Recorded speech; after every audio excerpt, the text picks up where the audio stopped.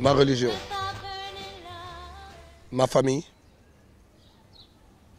et le respect des choses.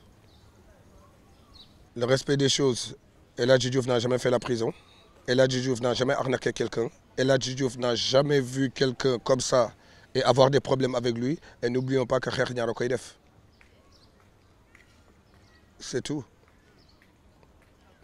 Et des fois, on dit qu'ils ne respectent pas les choses parce qu'aujourd'hui, ni du leen bëgg. N'oublions jamais ça.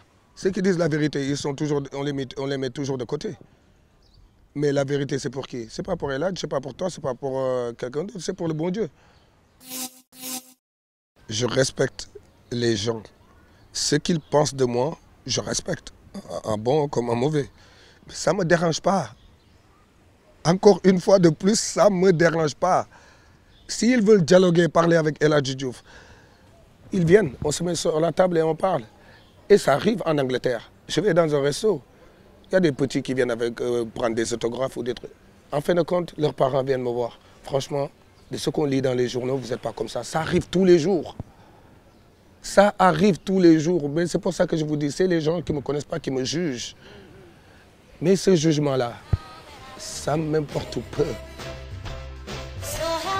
Hadj Diouf n'a effectivement pas peur de se montrer tel qu'il est, même si son comportement et ses excès peuvent nuire à sa réputation et contredire l'image de talibé mouride qu'il revendique.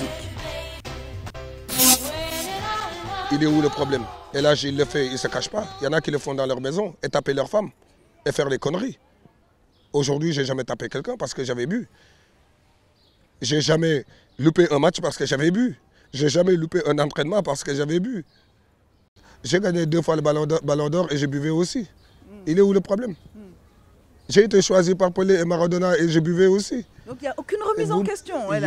Et vous m'écoutez, je vais finir. Les grands joueurs, les très grands joueurs, il y en a qui fument. Il y en a qui font ce qu'ils ont envie de, de, de, ce qu'ils ont envie de faire.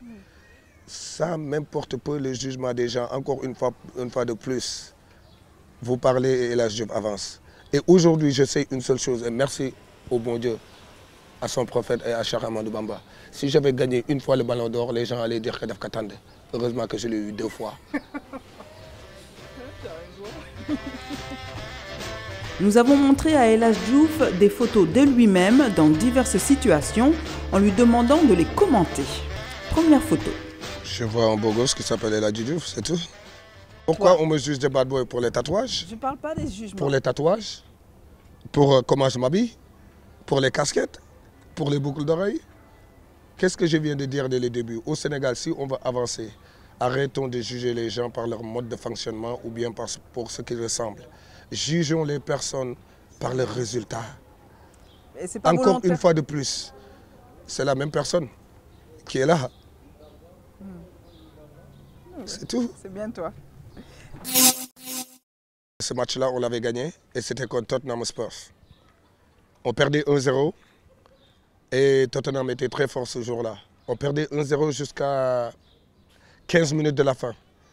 Et je me suis dit, qu'est-ce que je vais faire pour déstabiliser le gardien? Je l'ai déstabilisé, on a marqué deux buts en 15 minutes. À la fin, il est venu pour se battre avec moi et on s'est chamaillé, c'est tout. Le plus important, c'était le résultat. Et on avait gagné 2-1. Et je suis fier de moi-même déjà. C'est ça le plus important. Après, la voiture, c'est qu'un objet. hein. Mais le plus important, c'est que je suis fier de moi d'abord. Khalis Fadjoul De Gatchalay Fat. Aujourd'hui, j'ai fait tout ce que j'ai à faire. Alhamdulillah. J'ai une famille, je m'occupe de ma famille et je m'occupe de moi-même. Tout le reste, ce n'est pas mon problème. Et je m'occupe aujourd'hui aussi des gens qui en ont besoin. C'est pour laquelle j'ai une fondation. Aujourd'hui, je vous dis une chose. Celui qui ne sait pas travailler, celui qui ne sait pas se faire des thunes, pour moi, il n'a rien à faire dans ce, dans ce, dans ce, dans ce monde. Khalis dañ koy liggéey. Juddu ma fekk ma fi xaalis quand je jouais aussi bi may joué dama si defoon jom fula yàlla dimbali ma ci. Il faut que avant de parler d'argent tout ça il faut voir comment il l'a eu. Et aujourd'hui moi mon but numéro un c'était d'amener ma grand-mère à la Mecque les gens ne parlent pas de ça mais comme c'est pour ça que je dis moi il n'y a rien qui peut me toucher Rien. Je vais vous le dire tout de suite, rien. Il y a une seule chose peut-être qui me touchera demain, c'est de ne pas dire la vérité. Mais tout le reste pour moi, c'est aléatoire. Il y a des gens qui travaillent à l'hôtel, il y a des gens qui se lèvent pour aller travailler tous les matins, qui sont un menuisier, mécanicien, whatever.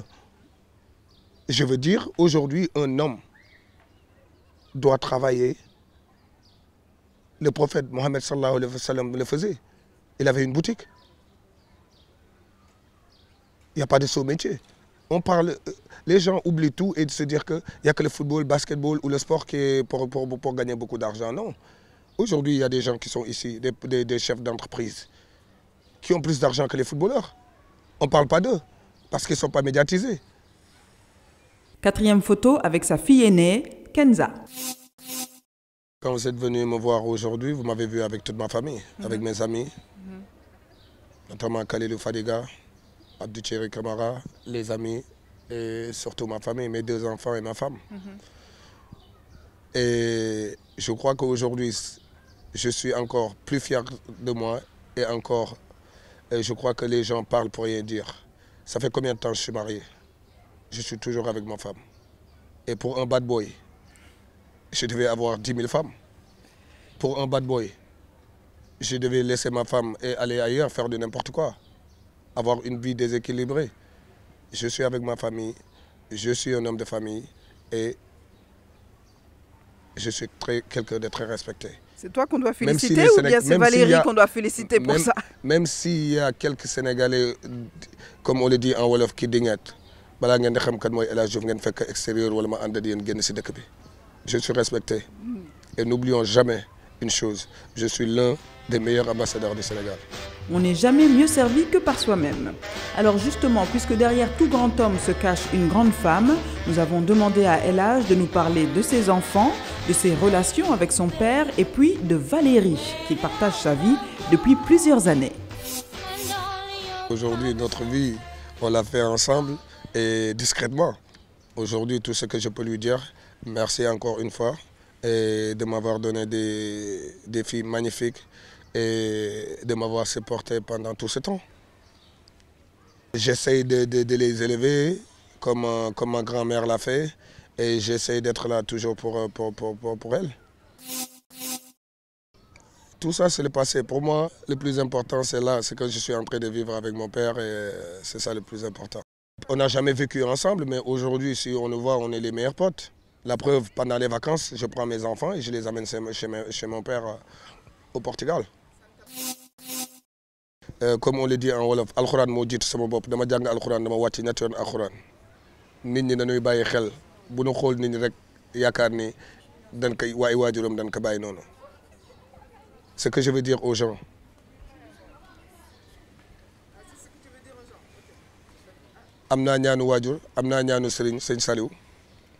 et aujourd'hui encore une fois de plus da nit ñi di di juger.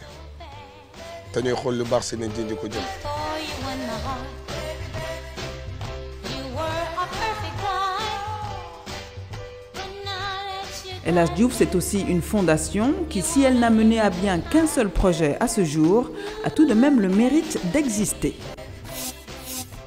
Ah, si vous avez bien suivi, vous avez vu ce que j'ai fait à Saint-Louis l'année dernière. J'ai organisé un match de football entre la génération 2002 et la sélection de Saint-Louis.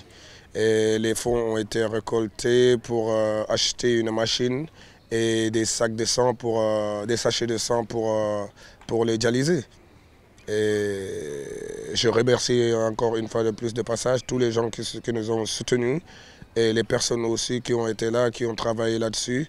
Et on a pu réussir à avoir une machine qu'on a mis à l'hôpital de Saint-Louis et donner une somme euh, à l'hôpital de Saint-Louis. Et franchement, même les, les, les malades m'avaient vu. Il y en a qui pleuraient, qui étaient vraiment, euh, qui sentaient quelque chose de, de, de grandiose.